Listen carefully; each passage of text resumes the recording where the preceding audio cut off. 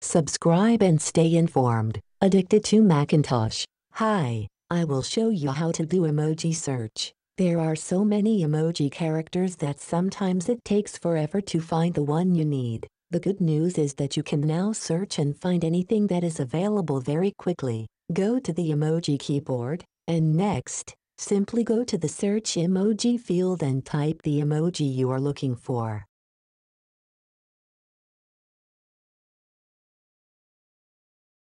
Yes, just like that, you get all matching emoji characters. Isn't this awesome? Nice and cool. It's that simple. Hope you enjoy this video. Have a nice day.